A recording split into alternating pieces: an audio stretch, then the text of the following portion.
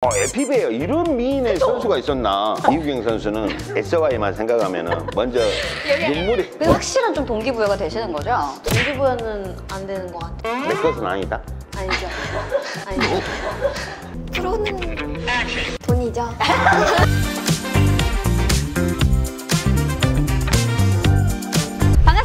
1년 만에 돌아온 당구살롱 MC를 맡은 미녀 아나운서 김선신 그리고 소개해주세요. 미남 아나운서, 미남 PBA 선수 김현석입니다.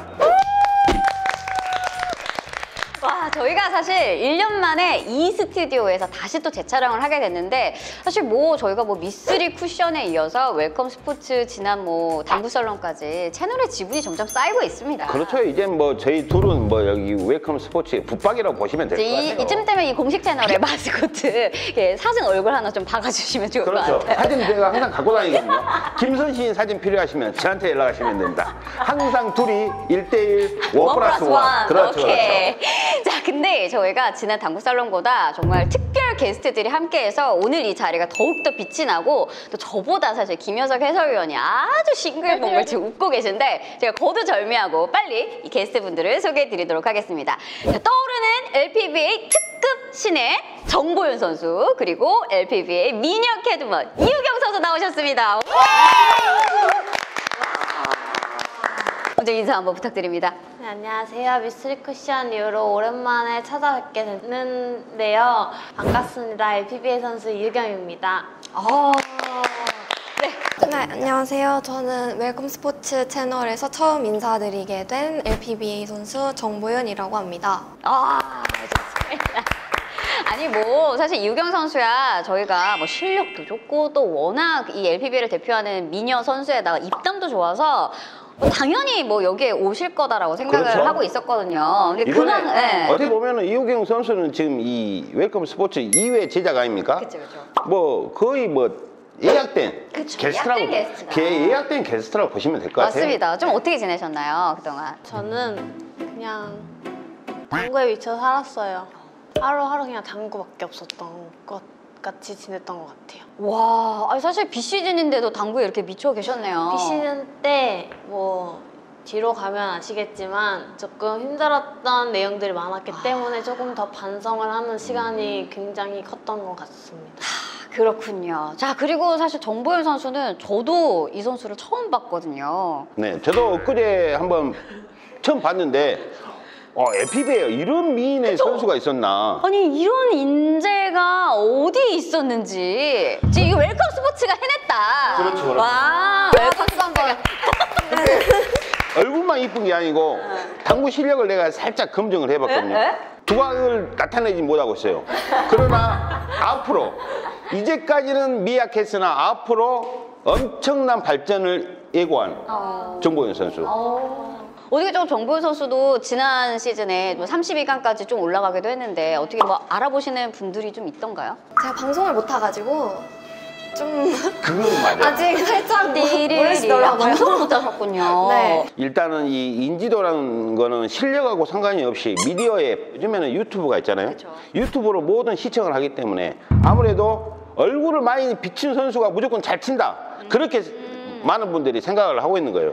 그러나 정보윤 선수 같은 경우는 이 묵묵히 이제 신인이다 보니까 묵묵히 조금 조금 조금씩 올라가고 있는 단계라고 보시면 될 것 같아요. 어쨌든 저희가 지금 화면 꽉 채우게 이렇게 미녀 게스트분들을 모셨으니까요. 또 이 1화에 맞게 또 재미있는 이야기를 저희가 구성을 해봤습니다.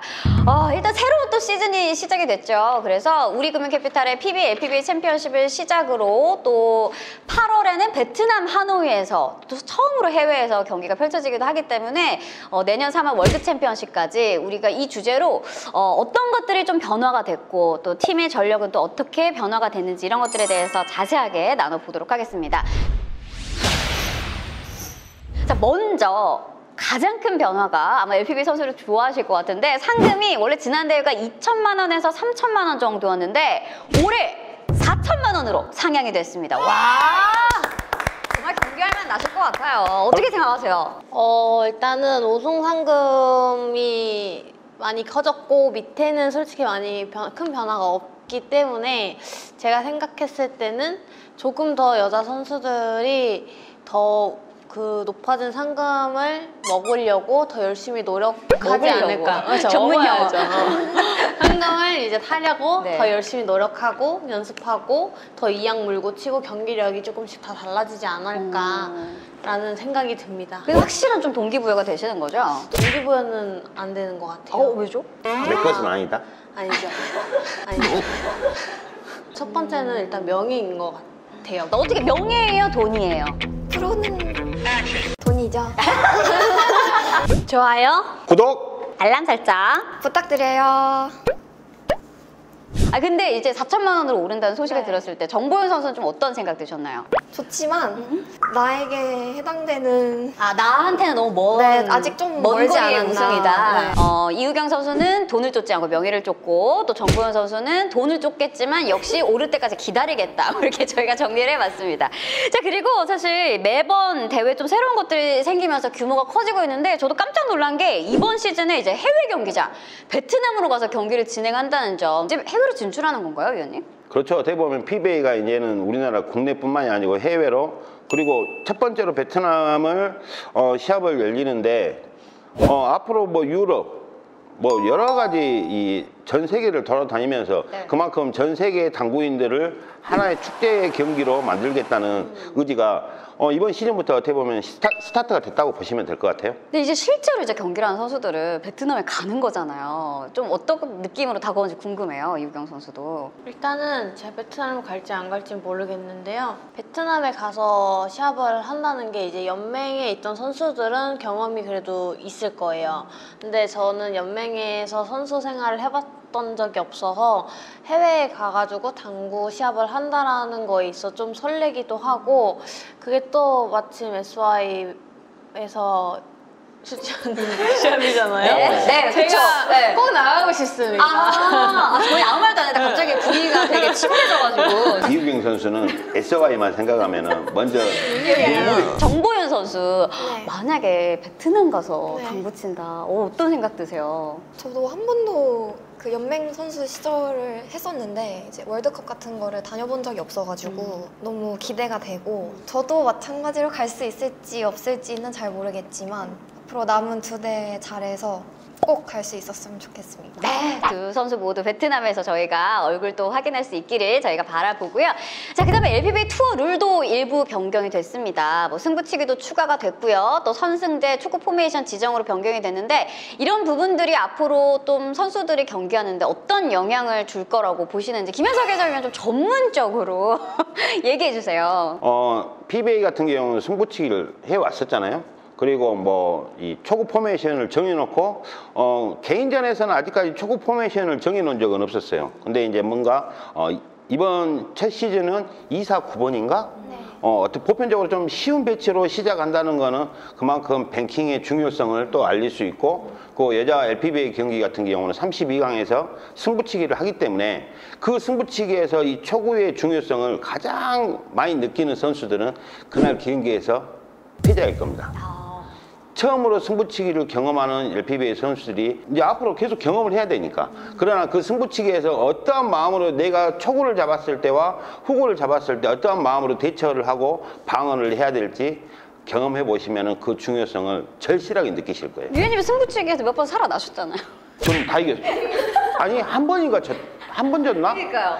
좋아요. 구독! 알람 설정. 부탁드려요. 네, 이우경 선수는 이렇게 새롭게 또 룰이 변경이 됐어요. 네. 이번 대회 좀 많이 어, 목표치를 상향을 두고 계신데 이런 부분들이 좀 경기력에 어떤 영향을 줄 것 같으세요? 제가 생각을 했을 때 경기에 있을 때는 정말 떨리는 순간과 긴장이 되는 순간이 정말 시도 때도 없이 많이 와요. 그냥 시작을 할 때 떨릴 수도 있고 끝날 때쯤에 내가 거의 다 쳐갔는데 상대방이 막 쫓아올 때 조금 더 떨릴 수도 있고 그거는 경기에 어떻게 뒤집힐지 모르는 거기 때문에 흐름에 따라서 바뀌어지는데 이제 승부치기가 생겼을 때 승부치기에 갔을 때는 조금 더 단단하게 연습이 되어 있거나 조금 더 심장이 강한 사람이 이겨낼 수 있는 게 크지 않을까라는 음. 생각이 들어요. 어, 좀뭐 해설하시는 줄 알았어요. 뭐 말을 역시 시나리오가 지나가는데. 이우경이다. 야. 역시 오늘 맘 먹고 왔네. 그쵸? 여기 오늘 의상부터가 약간 마음을 막 마음- 좀 확실하게 마음 먹고 오셨기 먹고 때문에 예. 한번 유경 선수의 저희 활약을 계속해서 기대해 보겠습니다. 자, 어쨌든 이제 다음 주제로 넘어가 보면 이제 개인 투어의 이번 시즌 다크호스를 저희가 한번 뽑아볼 건데요. 일단 보기가 세 개가 있습니다. 일단 1번 UMB 당구의 4대 천왕이었던 다니엘 산체스. 하지만 지난 시즌 무관이었는데요. 과연 그 무관의 부진을 털고 올 시즌 다시 반등할 수 있을 것인지 궁금하고요. 또 2번 월드 챔피언십 2연패로 최강 면모를 보여줬던 조재호 선수, 독보적인 당구 여제인 김가영 선수의 독주가 계속해서 올 시즌에도 이어질 수 있을 것인지. 그다음에 세 번째 PBL을 떠났다 돌아온 필리포스 카스토코스타스와 차유람 선수는 과연 팬들의 기대에 부응할 것인지. 그다음에 혹시 여기 보기에 없는 선수들 중에서도 아 나는 이 선수가 진짜 다크호스가 될 것 같다 하시면 뽑아 주셔도 됩니다. 먼저 이제 준비할 시간 을 드려야 되니까 김현석 위원님부터. 자, 첫 번째로 어, 산체스 선수를 뽑았는데 네. 어떻게 보면은 이번 새 시즌 새 시즌에 산체스 선수는 정말 새로운 면모를 보여줄 거예요. 음. 왜냐하면 지난 시즌에 처음 와서 어떻게 보면 상위 랭크 선수들하고 경기를 잘했음에도 불구하고 진 경기들이 많았거든요. 네. 그리 이제 그게 어떻게 보면 그 분위기 싸움 그리고 이점제 그리고 어, 쇼게임 여러 가지 이 경기의 모든 디테일한 부분을 완벽하게 산체 선수가 습득을 못한 상황에서의 1년간의 지난 시즌이었다면 앞으로 시작되는 시즌에는 산체 선수의 폭발적인 하이런 및 득점력이 많이 나올 것 같고 그리고 이제는 이 공격과 수비를 겸한 이 경기력들이 많이 나올 거예요. 그리고 조금 더 양념을 넣자면은 이충복 선수 오. 지난 시즌에 1승도 못했잖아요. 그쵸. 실력 이 없어 못한 게 아니에요. 다 알고 있죠. 사실 당구인들이라면. 운, 네. 아니에요. 운도 아니고 흐름 싸움인데 그 흐름에 약간 이 접목을 못 시켰다. 그렇게 보시면 될 것 될 것 같은데 어, 당구인들이 어떻게 보면 이충호 선수가 지난 시즌에 1승도 못한 이유를 뭐 부족하다. 이런 언론에서도 약간 그런 말들이 네. 좀 나왔거든요. 그러나 이 당구 선수들은 계속 1등을 할 수 없어요. 음. 계속 근다고 꼴등하는 것도 아니에요. 그쵸. 예. 이기고 지고 하는 게 변수가 그렇게 많은 게 이 당구 경기이기 때문에 네, 좋습니다. 어, 자, 그럼 이우경 선수는 올 시즌 다크호스 누구로 꼽고 계신가요? 어, 저는 다니엘 산체스가 조금 작년에 못 보여준 것도 있지만 이번에는 제가 들리는 하늘로는 정말 적응도 많이 했고 많은 준비를 했다고 들었어요. 네. 그리고 워낙 이제 공을 많이 섞고 봐왔기 때문에 이번 시즌에는 정말 한번 보여주지 않을까라는 기대를 조금 얹고 있습니다. 자, 그렇다면 우리 정보윤 선수 신인의 눈으로 바라봤을 때 다 선배들일 텐데 이거 어떻게 말을 좀 조심해서 하셔야 될 것 같은데 물론 그러지 않으실 것 같은데 어쨌든 한번 뽑아주세요. 네.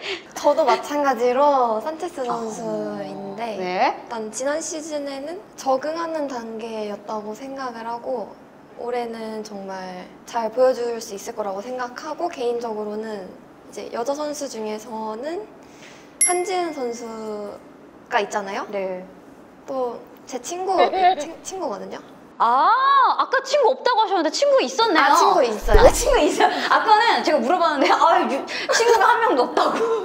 친구 있었네요. 그 너무 찾아내. 유명한 친구니까 아. 좀 조심스럽지만 아, 한지은 어쨌든 선수. 어. 한지은 선수가 네. 지난 시즌 이제 많이 보여줬다고 생각을 하고, 하는데 아직 실력만큼 완벽하게 다 보여주지 못했다고 생각을 해서 이번 시즌 한번 일을 내지 않을까 생각이 듭니다. 그 한지은 선수만 일 내면 안 되고 본인도 일을 내셔야 돼요. 아 노력을 노력해 보겠습니다. 그럼요, 그럼요. 정보현 선수도 또 다크호스로 떠오를 수 있, 기를 저희가 좀 응원을 해보도록 할 거고요. 자, 그럼 이번에는 새로운 팀리그에 대한 이야기를 또 이분들과 함께 나눠보도록 하겠습니다. 어쨌든 뭐 얼마 전에 드래프트도 있었고 새롭게 이제 팀 전력들이 막 꾸려졌기 때문에 어, 이 네 분과 함께 저희 팀 전력 분석과 함께 미리 예측해보는 팀리그 순위까지 한번 파헤쳐 보도록 하겠습니다. 뭐 오늘 날카로운 분석도 약간 좀 가슴 아픈 분석을 해야 되는데 어떻게 다 선배님들 이제 얘기해야 되는데 괜찮으시겠어요? 아, 뭐 설마 불려 나가지 않겠죠? 뭐 방송은 방송이니까. 야 그렇죠. 좋습니다. 이미 팀리그에 들어갈 준비를 다 하셨잖아요. 일단은 자료를 많이 빼갖고 왔더라고요. 내가 리더로 가면 주장으로 가면 내가 꼭 데리고 갈게. 네. 지금 약간 입담까지 이렇게 단단해졌어요. 얼굴이 다 임플란트 했어요. 수술로.